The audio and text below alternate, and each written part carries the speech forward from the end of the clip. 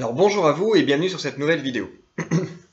Donc je viens aborder aujourd'hui la question de mission d'âme, de projet professionnel, de reconversion, de, définition ou redéfinition d'activité professionnelle, euh, qui peut peut-être justement aujourd'hui euh, s'inviter à vous comme questionnement, comme perspective.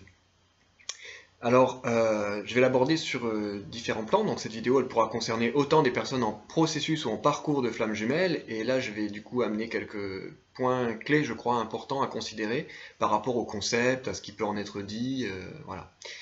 Et la, la, mission d'âme individuelle, celle en lien avec sa propre évolution, je dirais spirituelle, sa reconnexion, sa reconnaissance, l'identification de ses talents, de ses singularités, de ses spécificités, euh, l'éveil de ce qu'on peut appeler des dons euh, ou des potentiels qui étaient latents et qui pouvaient justement attendre que vous soyez, que chacun de nous soit prêt à pouvoir les manifester sous une autre forme et à s'offrir, j'ai envie de dire, au, monde, aux autres.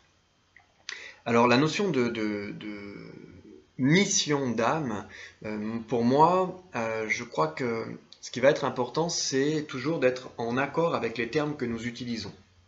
Pour certains, la notion de mission d'âme, ça devient quelque chose que je dois faire à tout prix, que c'est un peu un esprit de guerrier, de guerrière, un esprit de il faut faire, je dois y arriver, euh, voilà, quelque chose qui peut être un petit peu dans cette notion de d'intensité, d'épreuve, de combat. Euh, et qui peut du coup sous-tendre la peur de ne pas y arriver, la peur de ne pas accomplir sa mission, euh, euh, voilà. Mais qui pour certains, en fait, ça peut être leur moteur, leur, dynamique en lien avec leur propre tempérament. J'aime bien parler dans la notion de mission de réalisation de soi. Pour moi, la mission d'âme, c'est la réalisation de l'être. c'est la même chose c'est le fait euh, d'accomplir ce que nous sommes venus accomplir. Et la meilleure manière d'accomplir ce que nous sommes venus accomplir, c'est de nous relier à ce que nous sommes. Donc la mission d'âme, s'il en est une, elle est inscrite en nous-mêmes. C'est notre propre vibration, c'est notre raison d'être. Donc la raison d'être, la mission d'âme, le chemin de vie euh, et la réalisation de soi, pour moi, c'est une seule et même chose. Maintenant, à chacun, peut-être de, choisir un terme ou une considération, une définition qui lui correspondra le mieux euh, pour avancer dans cette, dans cette propre euh, réalisation de soi. Parce que cette mission euh, d'âme, elle est inscrite dans notre programmation, je dirais, génétique. Hein. c'est dans nos gènes, puisque c'est notre véritable essence qui est porteuse de cette de cette euh, identité, je pourrais dire, hein, c'est-à-dire cette manifestation singulière. Donc la mission d'âme, avant d'être euh, la mission d'âme, je dirais, collective ou, euh, du duo de flammes jumelles, elle est nécessairement notre propre réalisation de nous-mêmes. Donc si vous êtes dans un parcours de flammes jumelles, euh, par rapport à ce qui en est dit dans le concept, que les flammes jumelles doivent s'accomplir, se réaliser, elles ont une mission de vie ensemble, qu'elles se doivent de, réaliser pour le bien de l'humanité, sans quoi potentiellement c'est la catastrophe pour l'humanité. Hein, vous voyez un peu la pression qu'il peut y avoir derrière, la charge, le poids, la culpabilité ou la culpabilisation, quand on a le sentiment de ne pas avancer, de ne pas s'accomplir, de ne pas répondre à cette exigence divine qui serait celle de euh, t'en fais pas assez, etc. Hein. Donc en fait, on va rester un peu dans cette dynamique quand on est dans cette vibration, cette dynamique de euh, papa n'est pas content parce que je n'ai pas encore réalisé ses rêves.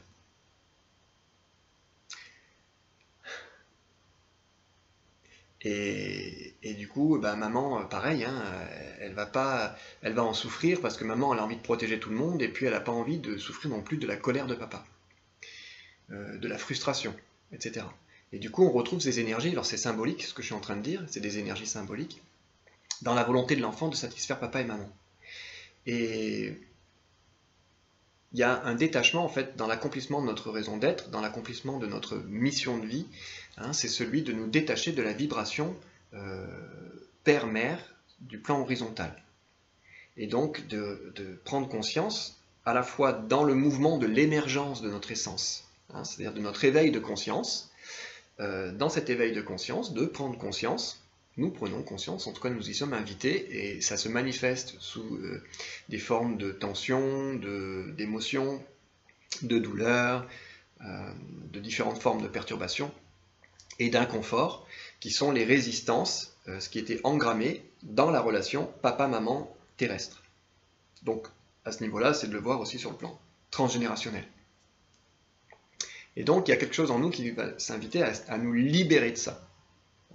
Mais il est vrai que quand on reste sous cette domination euh, d'énergie euh, où on, croit qu'on a besoin, en effet, de, l'autorité de papa et de, la protection de maman, et eh bien souvent on continue de marcher à, la carotte et, au bâton, hein, à la punition et à la récompense.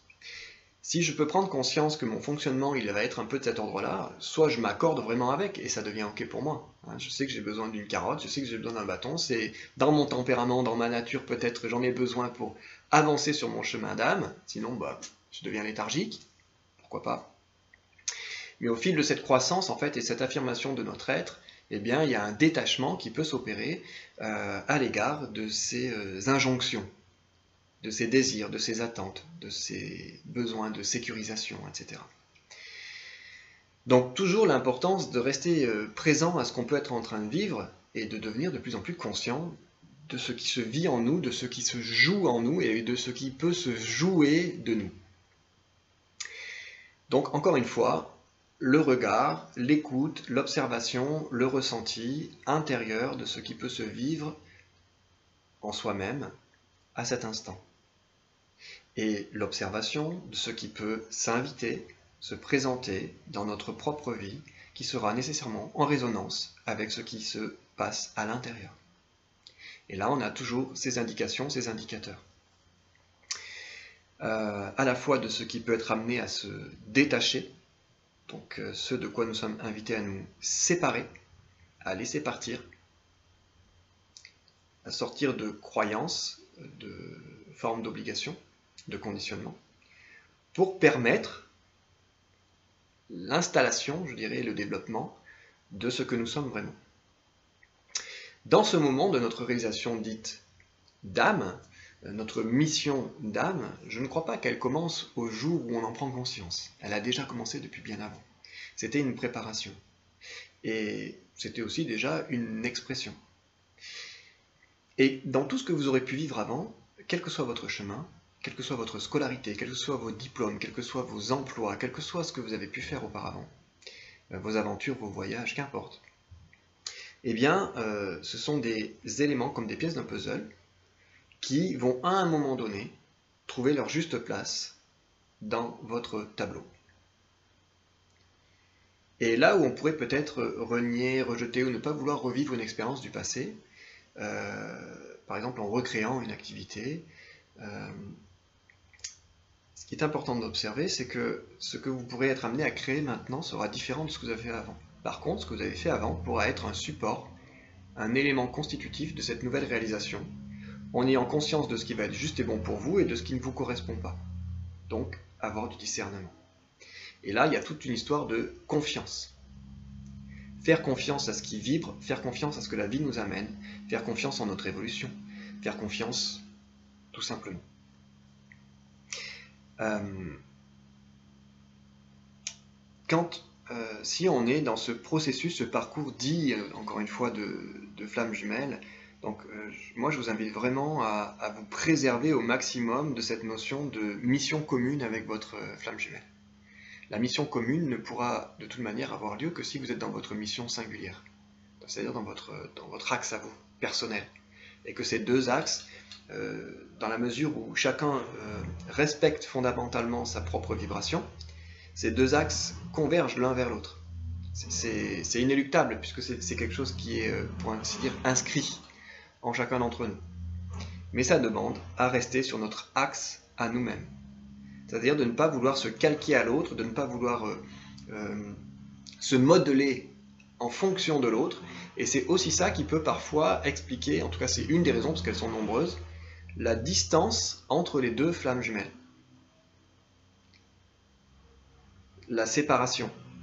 le silence, l'ignorance, le fait de ne pas savoir ce que vit l'autre, ce que fait l'autre.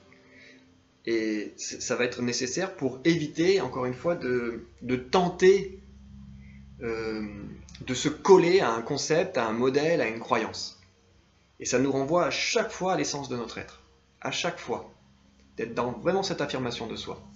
Donc voilà, pour la mission de vie, encore une fois, elle est, en chacun de nous. Votre histoire donne des éléments, votre présent donne des éléments, l'écoute, la méditation, l'observation, tout ce qui se vit en vous, vous, vous, amène ces clés.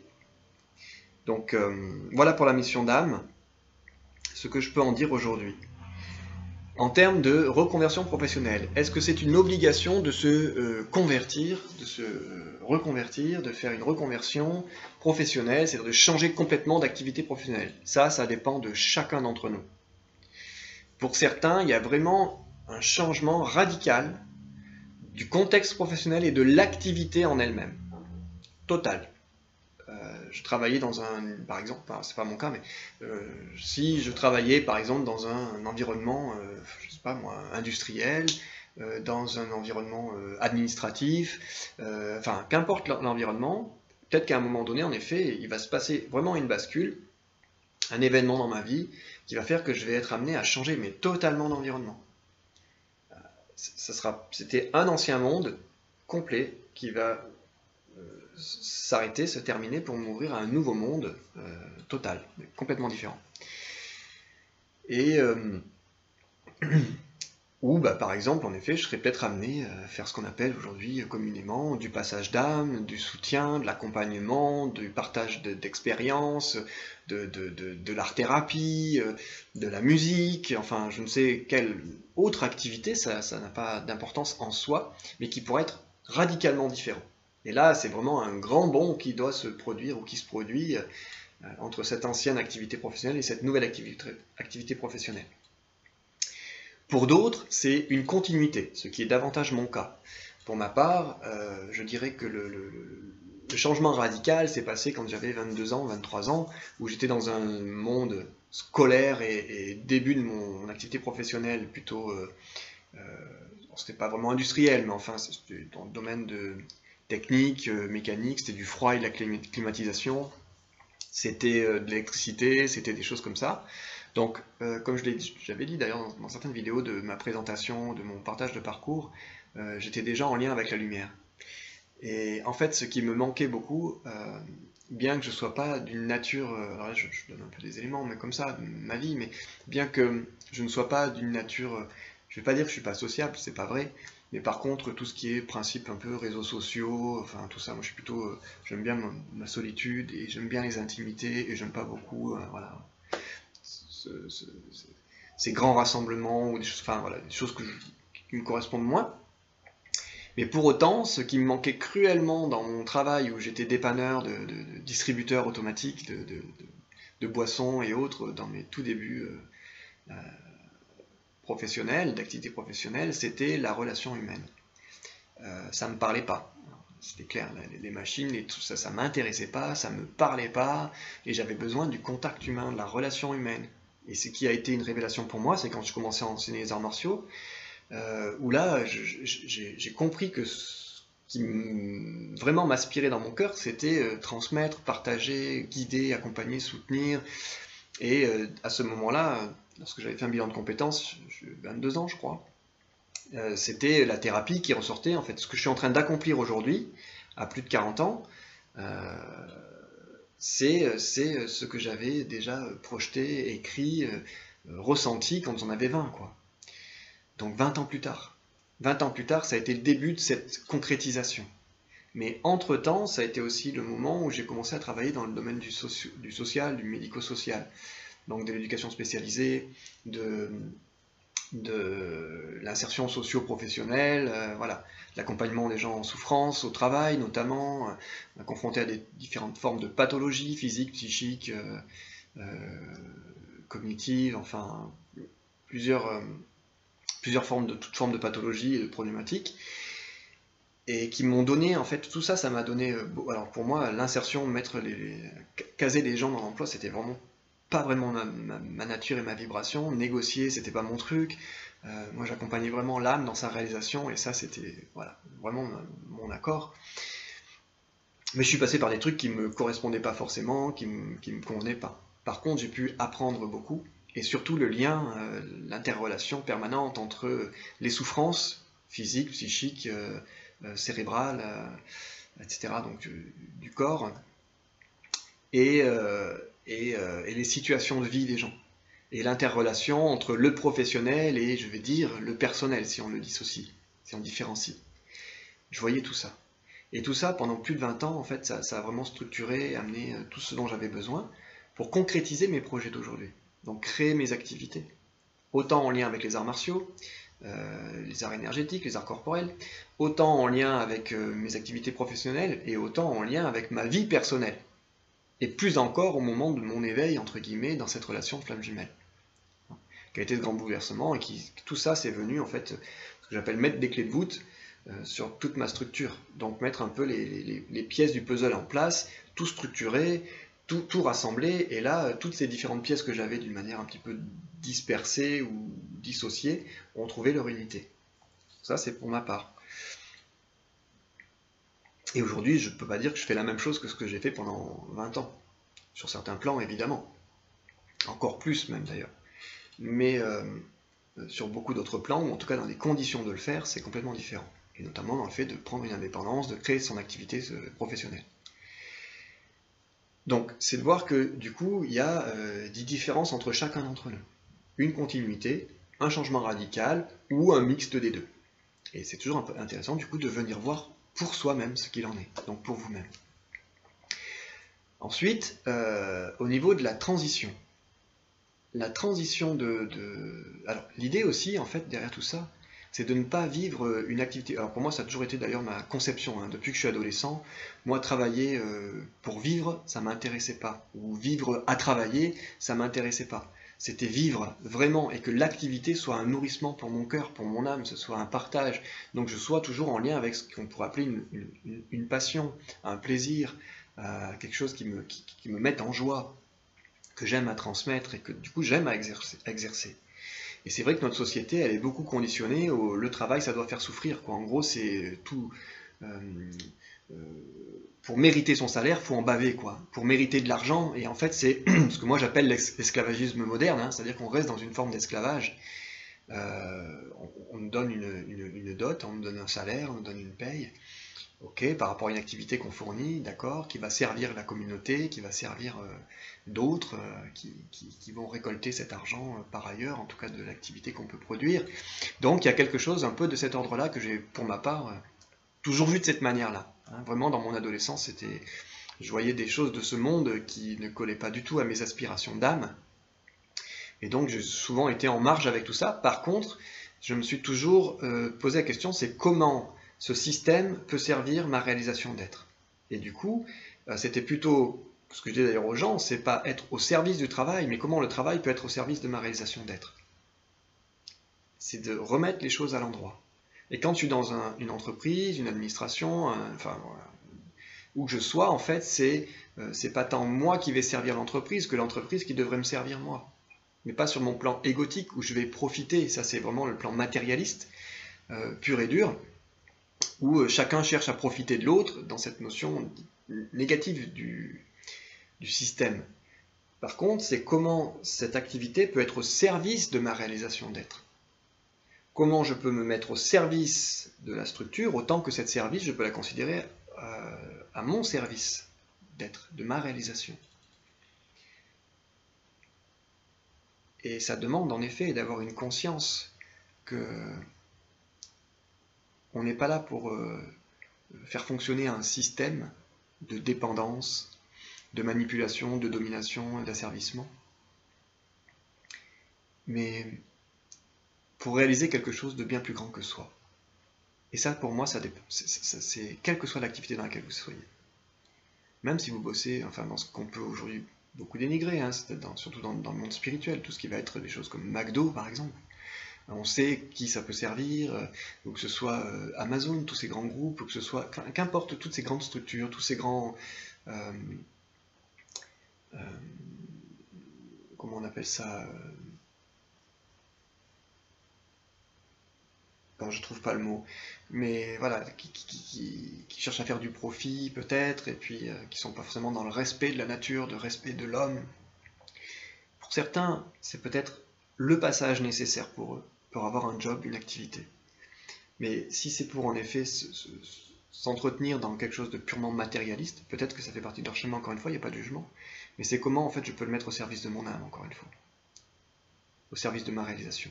Du coup, c'est pas tant ce qu'on fait qui va avoir de l'importance, mais ce que l'on en fait qui va avoir de l'importance. Au service de qui et de quoi je mets ce que je fais, ce que je vis, ce que je reçois, ce que j'offre? Ça, c'est primordial de ma considération. Et quand on est donc dans cette, euh, réalisation, euh, et qu'on fait ce choix de se libérer de la croyance que pour gagner de l'argent, il faut en souffrir, euh, que pour mériter son salaire, il faut faire des boulots miséreux sans prendre de plaisir, que la joie, le plaisir ne sont pas OK avec le principe de gagner de l'argent, de recevoir de la, monnaie, parce qu'on dit que l'argent est sale, et à ce moment-là, en fait, on est toujours dans de l'auto-sabotage. C'est à la fois, je, désirerais peut-être pouvoir m'offrir des choses, plus de confort, ou euh, me sentir plus euh, libre sur ce plan financier, plus serein, plus sereine, plus en sécurité, euh, sur, mes biens matériels, quelque chose de cet ordre-là et qu'en même temps on considère que le moyen pour, pour y parvenir, qui pourrait nous être offert dans ce, dans ce monde aujourd'hui, est un moyen sale, manipulateur, qui appartient aux forces de l'ombre, eh bien on, s'auto-sabote. Et ça sert l'ombre. Donc c'est comment en fait, à chaque instant, je peux transformer cette ombre en lumière. Et ça, ça dépend de notre intégrité. Ça dépend de notre euh, conscience. Donc de ce que l'on fait, encore une fois, de ce que l'on a, de ce que l'on reçoit, de comment on vit notre vie. Donc déjà, c'est comment, dans cette forme de reconversion, d'ouverture, c'est comment je, m'autorise le fait de recevoir, de gagner de l'argent, qui est une monnaie d'échange, par exemple, hein, euh, pour permettre de faire circuler la vie dans mon corps. Et de pouvoir, du coup, quand c'est juste et nécessaire, euh, d'obtenir ce dont j'ai besoin pour grandir. Maintenant, dans ce chemin, particulièrement pour les flammes jumelles et les personnes en éveil, et ça a été vraiment mon cas, euh, donc pour la plupart, je ne vais pas dire pour tout le monde. Et l'idée, c'est pas de générer plus de peur, c'est juste d'avoir conscience que si ça arrive, vous soyez peut-être euh, déjà ouvert à ce que je vais exprimer là. Euh, pour certains, la transition, elle peut être en, filigrane, progressive, qui va prendre de plus en plus d'intensité. Par exemple, j'ai une activité professionnelle X, n'importe quoi, hein, en, industrie qui me correspond moyen, ou euh, en milieu social, enfin ça, n'a pas d'importance. Et puis euh, je vais euh, développer des talents, des capacités, des compétences, bon, que je vais pouvoir mettre au service d'autres personnes, peut-être d'une manière totalement gratuite ou en activité complémentaire à mon activité de base, celle qui m'apporte un sentiment de sécurité, qui m'apporte une ressource nécessaire pour continuer de vivre et de faire vivre mon foyer. Donc de subvenir à mes besoins euh, fondamentaux dans cette existence. Et en parallèle, j'ai une autre activité qui va se développer, et puis l'une et l'autre, en fait, vont, se défaire, et puis une disparaît, j'en ai plus besoin, et l'autre compense dans l'instant. Donc on pourrait dire qu'il n'y a pas forcément de manque financier ou de, réduction financière, pas forcément. Peut-être que vous êtes euh, accompagné de quelqu'un qui a des ressources financières, euh, qui a un bon salaire, euh, ou vous avez des, héritages, ou je ne sais pas, en tout cas vous avez une, une, une structure financière qui vous soutient et qui vous pose en fait aucun problème pour faire une transition de vie. Et à ce moment-là, en fait, c'est vrai que bah, vous pouvez proposer vos services plus ou moins gratuitement si vous avez envie. Si, euh, voilà, du coup, selon notre situation sociale, cette considération et ce rapport euh, à l'activité, au service, euh, au prix aussi de nos prestations pourra être différent. Mais chacun aura une expérience différente aussi à vivre par rapport à ça. L'une d'entre elles, c'est oser exprimer ses talents, oser s'exposer oser se mettre au service des autres.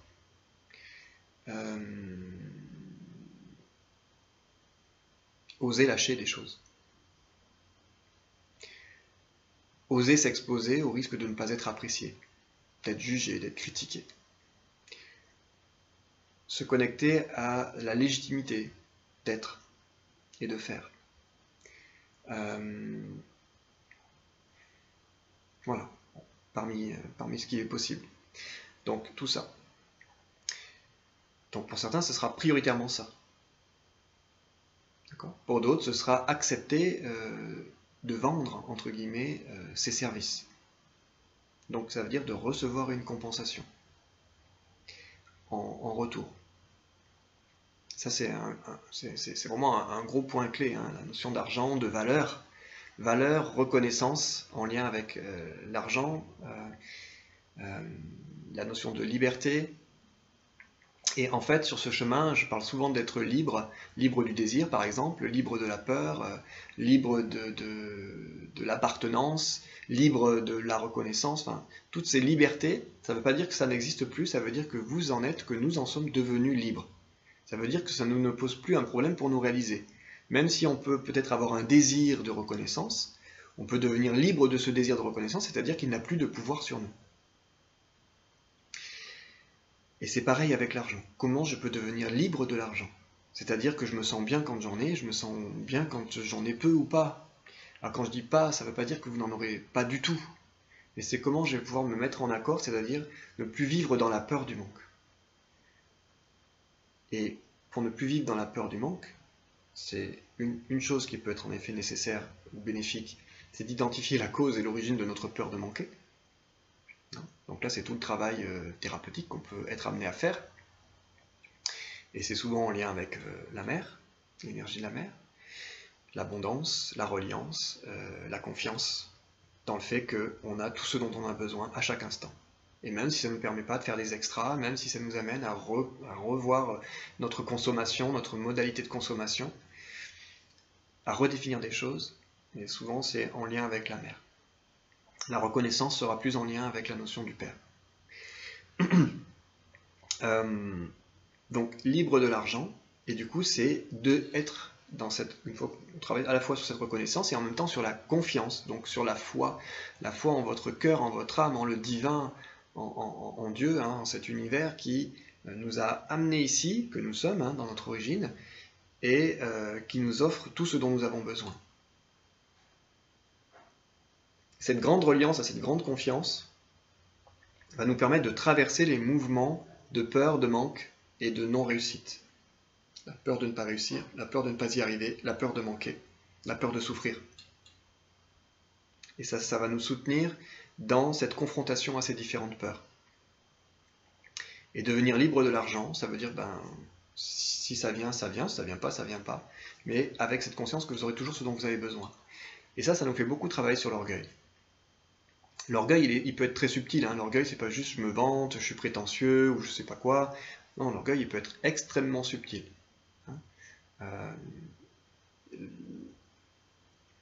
L'orgueil, ça peut être euh, penser qu'on va tout réaliser tout seul, parce qu'il faut être autonome. Mais parfois, l'autonomie, c'est la, capacité à faire appel à, quelqu'un dont on a besoin, qui pourra nous, servir, pour grandir sur notre propre chemin. Donc l'orgueil, parfois, il peut être très très très subtil, et c'est des points de vigilance euh, constants quelque part. C'est ça la conscience, c'est d'observer toutes nos petites parts d'ombre qui, restent ou qui sont encore très présentes selon chacun pour, euh, pour ne pas être encore sous leur euh, domination. Donc c'est cette notion euh, d'orgueil, par exemple, pour beaucoup d'entre nous, d'entre vous, quand on est sur un chemin comme ça, et surtout quand on est beaucoup au service des autres, eh bien, on pense que les autres auront besoin de nous, mais nous non. Que nous, nous pourrons ne pas avoir besoin des autres, ou que euh, on peut accompagner des gens, euh, parce que je l'ai aussi beaucoup vécu en tant que travailleur social pendant de nombreuses années, euh, bénéficier des aides de l'État, hein, que ce soit par la, caisse d'allocation familiale et d'autres, et surtout dans le regard qu'on peut en avoir.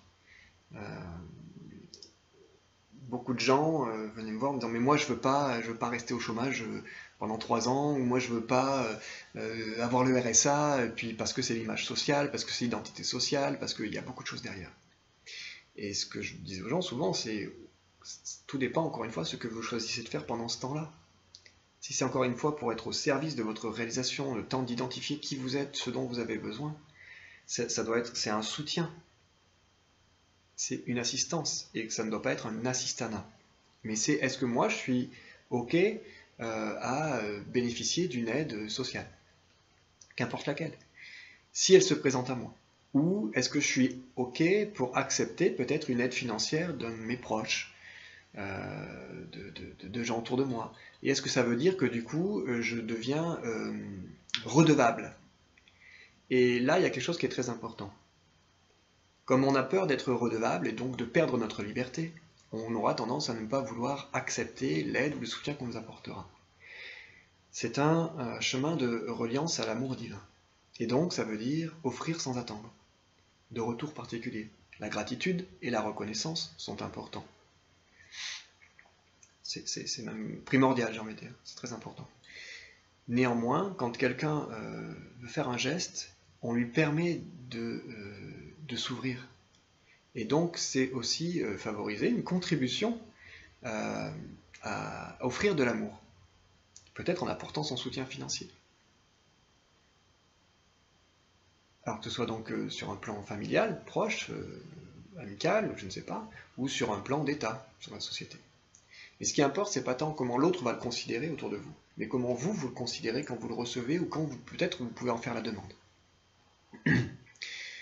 Euh, et pour ma part, ça fait une demi-heure cette vidéo, je vais faire un peu plus long.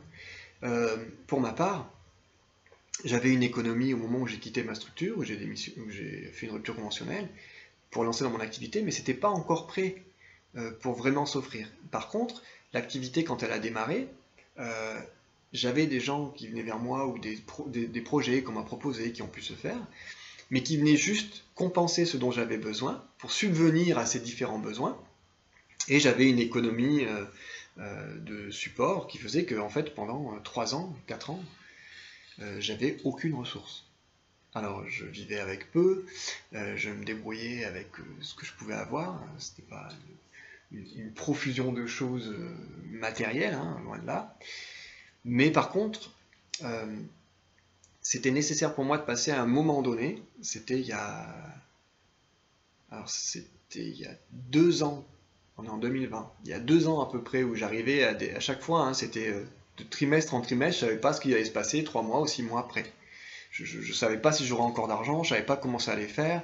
Et puis, ben, euh, euh, donc j'ai confronté à beaucoup d'angoisse, beaucoup de peur, des, réveils hein, nocturnes comme ça, avec des, poussées d'angoisse, disant mais comment je vais faire, comment je vais nourrir mes enfants, comment je vais subvenir à mes besoins? voilà, je me posais toutes ces questions, c'était très, très éprouvant aussi. Mais est-ce que ça va marcher? Est-ce que ça va pas marcher? Est-ce que est-ce que c'est juste que je suive mon cœur comme je le sens? Est-ce que vraiment tout ce qu'on dit là-dessus, c'est, c'est, c'est, vrai? Est-ce que ça ne l'est pas? Donc sans arrêt, je me relie au divin et puis euh, je, demandais euh, voilà, toujours de, cette guidance et de, sentir. Et, voilà. et au fur et à mesure, je traversais mes épreuves, je traversais mes peurs.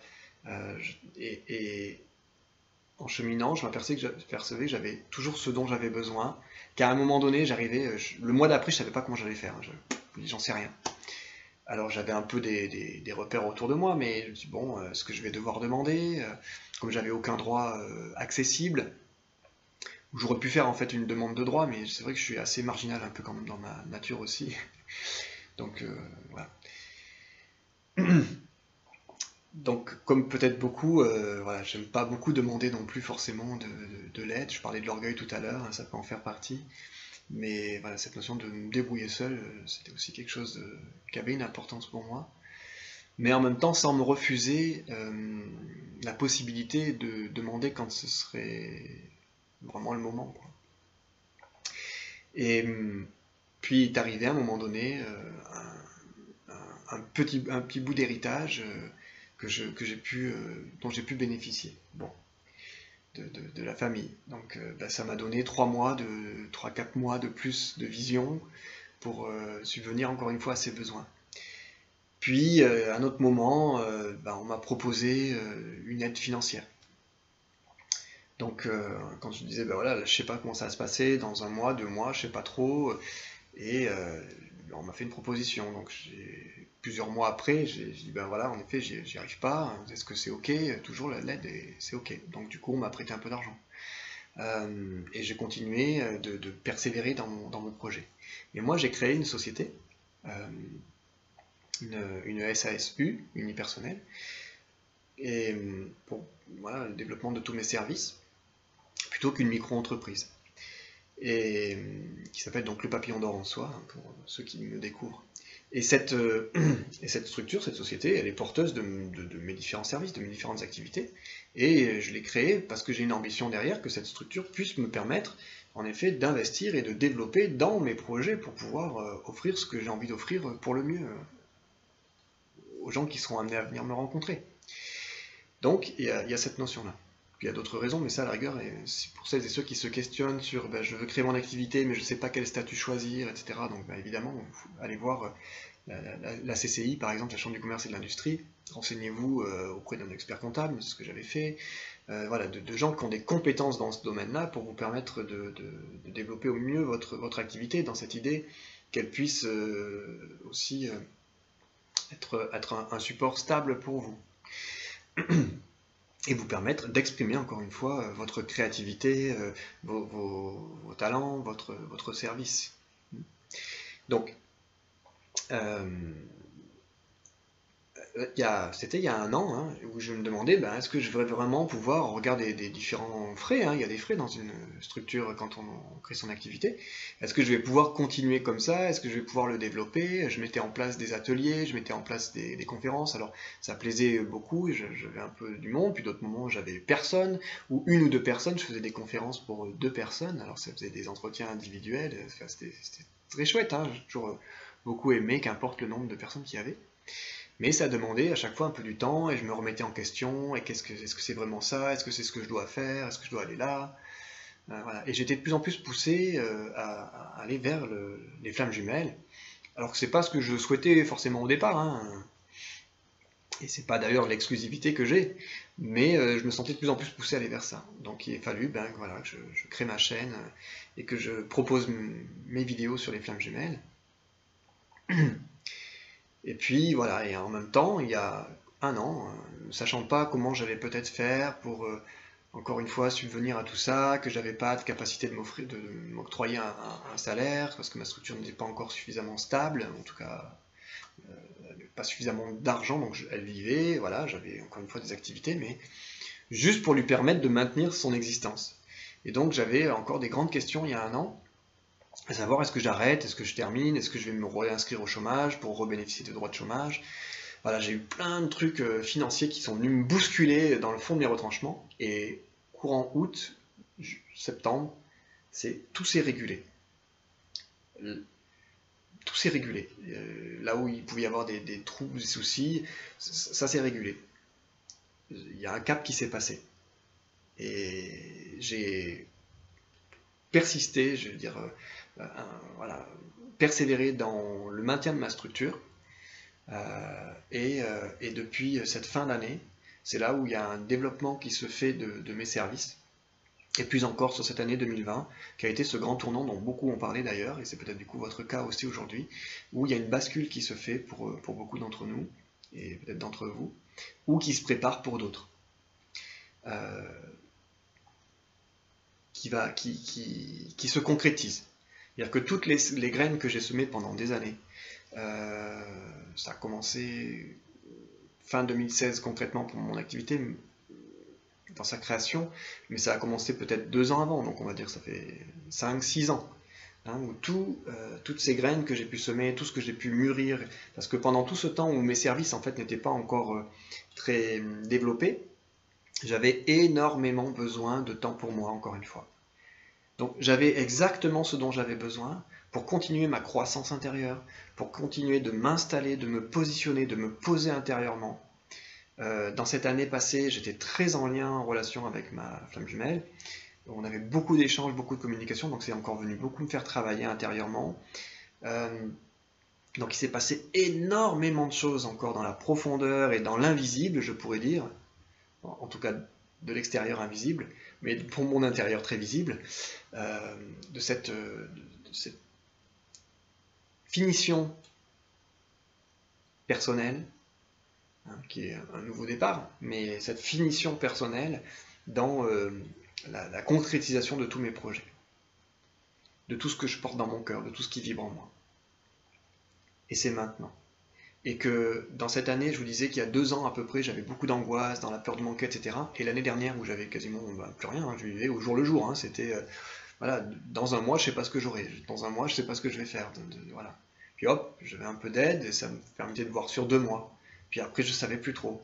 Et voilà. Et là, euh, en cette fin d'année, j'ai plein de trucs qui se sont débloqués, euh, une ressource qui m'a été donnée pour me permettre de par le biais du, RSA de, soutenir euh, mon activité, euh, son développement, et, euh, qui va me permettre de, maintenir les choses.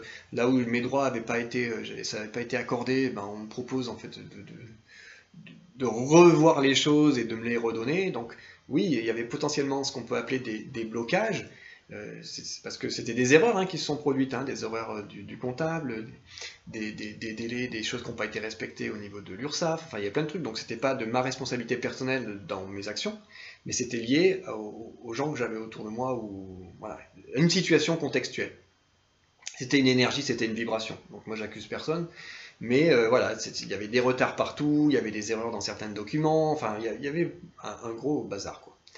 Et qui du coup... m'a quand même bien fait flipper. Mais euh, tout est rentré dans l'ordre.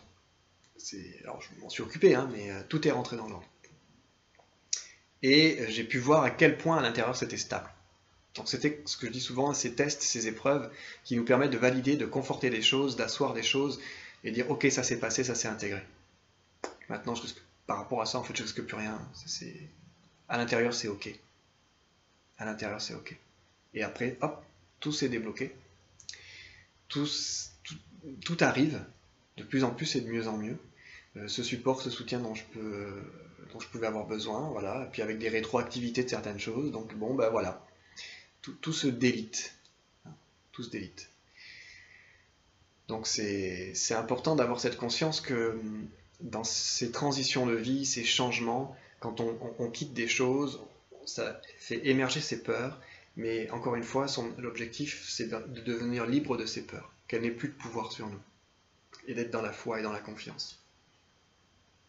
On a tout ce dont on a besoin, à chaque instant. Les possibles, ils sont là, les potentiels sont là.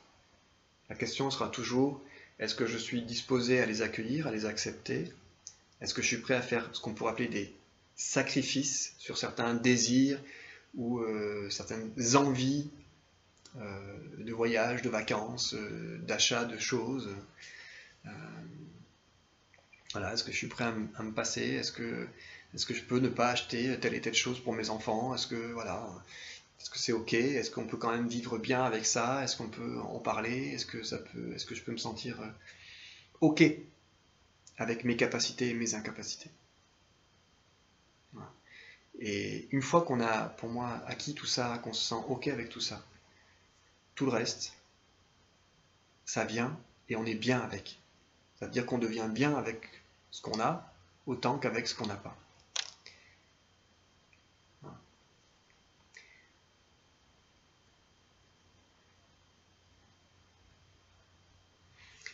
Donc, euh, et ce qui peut aider aussi à ces identifications, ben, c'est tout ce travail intérieur. C'est tout euh, euh, l'identification de vos potentiels, de vos capacités, de vos talents.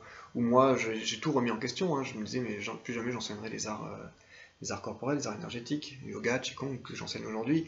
Et en fait, je recevais pour autant des inspirations, je recevais des choses, je structurais encore des pratiques que j'avais d'avant. Enfin, j'avais des choses, mais en même temps, je me dis, mais plus jamais j'enseignerai. Euh, et, voilà. Et aujourd'hui, ben, des élèves viennent, il y a des, des choses qui se passent. Puis je suis encore une fois guidé, soutenu, accompagné vers ça. Et évidemment, c'est un grand plaisir pour moi que d'offrir tout ça, quoi. Donc, euh, donc voilà. Donc ce que je voudrais vraiment vous dire, c'est tout d'abord, suivez votre cœur, écoutez ce qui vibre en vous, observez ce, quelles sont vos résistances sur tous les plans de vie.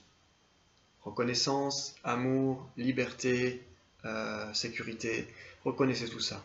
Observez quelles sont les injonctions, les dépendances, les croyances euh, en lien avec euh, vos héritages paternels et maternels, ancestraux notamment. regardez, observez, accueillez les peurs qui émanent, les angoisses, les, projections que vous faites, tout ça, observez tout ça, soyez avec ça, et continuez de tendre vers cette forme de libération par cette reconnaissance pour devenir de plus en plus, encore une fois, qui vous êtes, ce que vous êtes, et osez l'être. Voilà ce que je pourrais dire pour cette vidéo, euh, qui fait trois quarts d'heure. Est-ce qu'il y a autre chose que j'ai à rajouter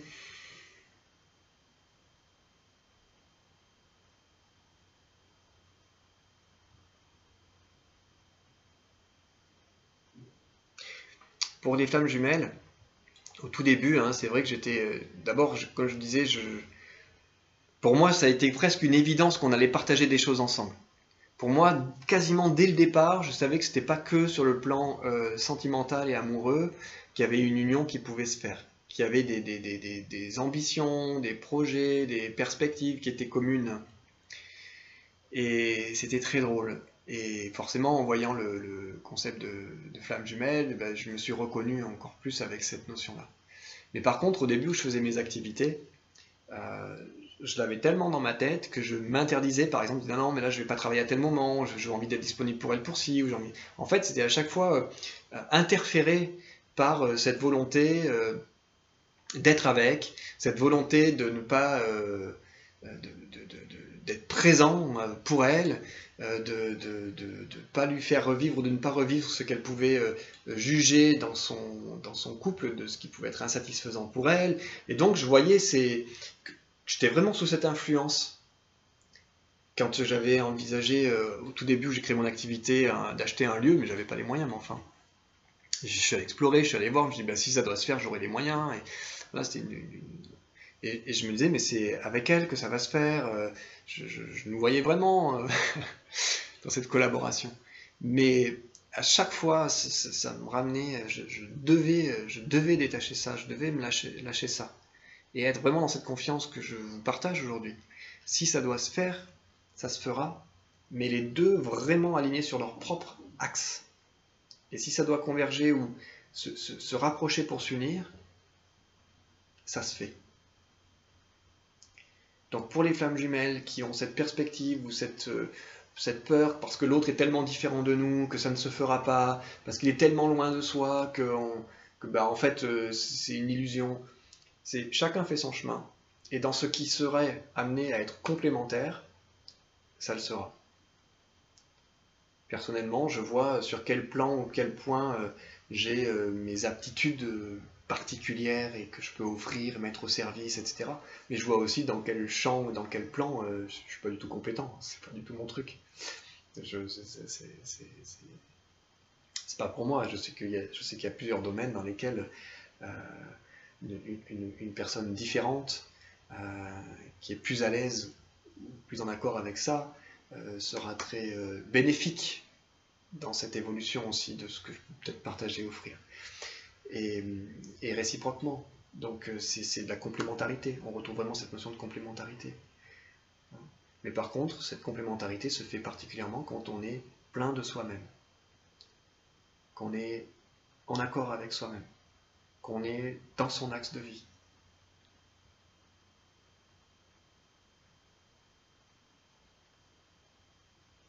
Donc, euh, donc voilà ce que je pourrais euh, avoir à dire. Si ça éveille en vous des questions, Là, j'ai pas d'autres inspirations. Si ça éveille en vous des questions, qu'il y a des choses que vous voulez euh, peut-être approfondir.